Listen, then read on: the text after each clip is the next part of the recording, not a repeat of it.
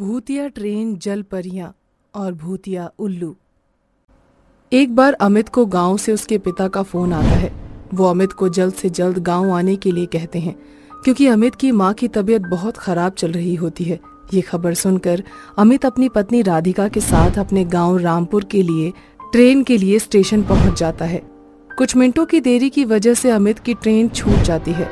ये देखकर, अरे ये क्या? बस कुछ मिनटों की देरी की वजह से हमारी ट्रेन छूट गई। हमें तो जल्द से जल्द गाँव पहुँचना है। अब क्या करेंगे? ये सुनकर अमित कुछ नहीं बोलता और बस मायूस होके खड़ा होता है। थोड़ी देर बाद अमित अगली ट्रेन के बारे में पता करने चला जाता है।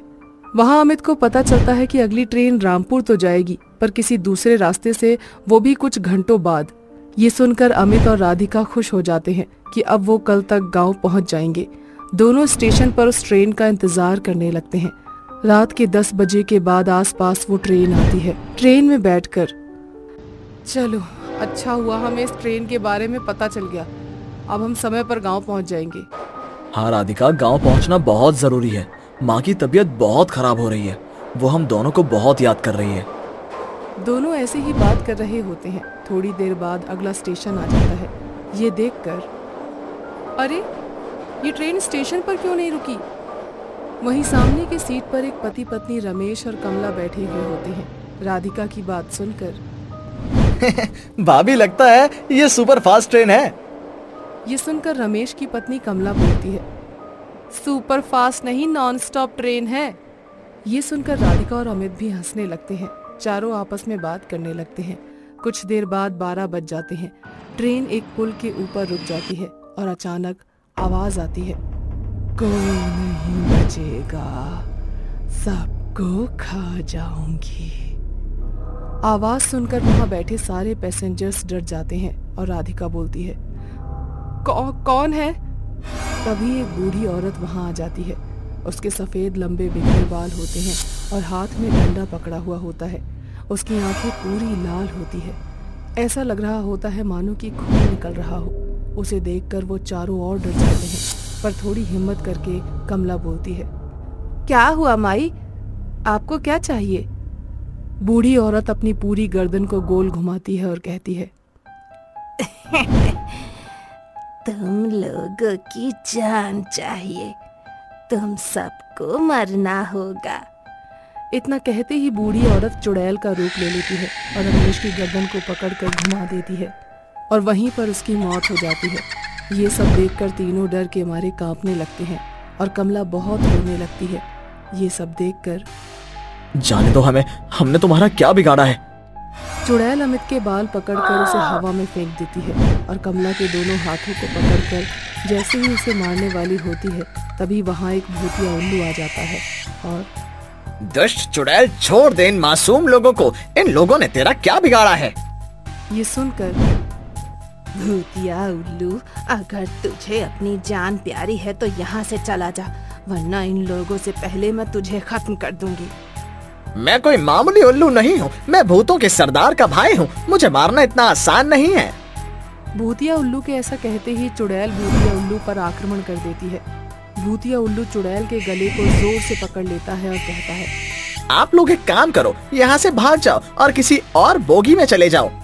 अमित राधिका और कमला तीनों जैसे ही भागने लगते हैं। भूतिया उल्लू और चुड़ैल दोनों हंसने लगते हैं और भूतिया उल्लू कहता है अरे मेरी दोस्त चुड़ैल इन इंसानों को देखो ना कितनी जल्दी मेरी बातों में आ गए।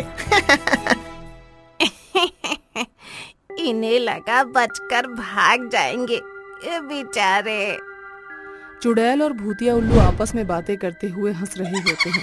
तभी कमला राधिका से धीमी आवाज़ में कहती है राधिका बहन मैंने किसी के मुँह से सुना था कि इस पुल के नीचे जलपरी भी रहती है। अगर हम उन तक अपनी बात पहुँचा दें तो शायद वो हमारी मदद करने के लिए आ जाए। तभी राधिका एक सिक्का निकालती है। हे जलपरिया मुझे पता है आप इसी पुल के नीचे हैं। हमारी जान बचाइए। राधिका सिक्का पानी में फेंक देती है। इतने में चुड़ैल अमित को घसीटते हुए दूसरी बोगी में ले जाती है।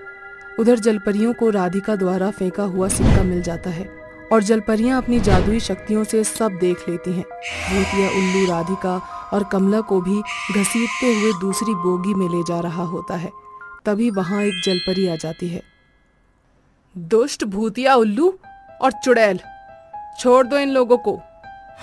जलपरी, अपनी जान को सलामत चाहती हो तो यहाँ से चली जाओ। तभी भूतिया उल्लू उड़ते हुए आता है और अपने पंखों से जलपरी पर वार कर देता है। जलपरी उल्लू के दोनों पंखों को पकड़कर तोड़ देती है। पंख के टूटते ही उल्लू मर जाता है। ये देखकर मैं तुझे नहीं छोड़ूँगी जलपरी। तूने मेरे दोस्त की जान ले ली। अब तू नहीं बचेगी। इतना कहते ही चुड़ैल अपने दोनों हाथों को लंबा करके जलपरी को पकड़ने लग जाती है। तभी जलपरी वहाँ से गायब हो जाती है। चुड़ैल जलपरी को यहाँ वहाँ देखने लगती है। तभी जलपरी चुड़ैल के दोनों हाथों को जादुई रस्सी से बाँध देती है। चुड़ैल चिल्लाते हुए कहती है छोड़ दे मुझे छोड़ छोड़। तभी राधिका वहाँ आती है और कहती है तुम हम लोगों को क्यों मार रही हो? हमने तुम्हारा क्या बिगाड़ा है? ये सुनकर तुम इंसान ऐसे ही होते हो किसी के अंदर दया नहीं होती। ये सुनकर तुम इंसानों की वजह से मेरी ये हालत हुई है। ऐसा क्या हुआ था तुम्हारे साथ? ये सुनकर चुड़ैल रोने लगती है। मैं इसी ट्रेन में लोगों से पैसे मांगकर गुजारा करती थी। रोज की तरह जब मैं यहीं बैठकर पैसेंजर से पैसे मांग रही थी तभी उसने मुझे ज़ोर से धक्का दिया। मैं गाड़ी के बाहर जाकर गिर गई और मेरी मौत हो गई। मेरी आत्मा निकलकर ट्रेन में भटकने लगी। और मैं एक चुड़ैल बन गई। चुड़ैल की कहानी सुनकर जलपरी कहती है तुम्हारे साथ जो हुआ बहुत गलत हुआ पर हर इंसान ऐसा नहीं होता। तुम ये सब छोड़ दो तुम्हारी आत्मा को शांति मिल जाएगी। ये सब सुनकर चुड़ैल की आँखें लाल हो जाती हैं और चुड़ैल कहती है किसी को नहीं छोड़ूँगी अब सबको मरना होगा। चुड़ैल और जलपरी दोनों एक दूसरे के साथ लड़ने लग जाती हैं। चुड़ैल जलपरी को घायल कर देती है। इतने में दूसरी जलपरी अपने साथ जादुई पानी लेकर आती है और चुड़ैल पर डाल देती है। और चुड़ैल देखते ही देखते गायब हो जाती है। उसके बाद राधिका, अमित और कमला दोनों जलपरियों को धन्यवाद करते हैं और दोनों जलपरियाँ वापस चली जाती हैं। इसके बाद राधिका और अमित भी अपने गाँव चले जाते हैं।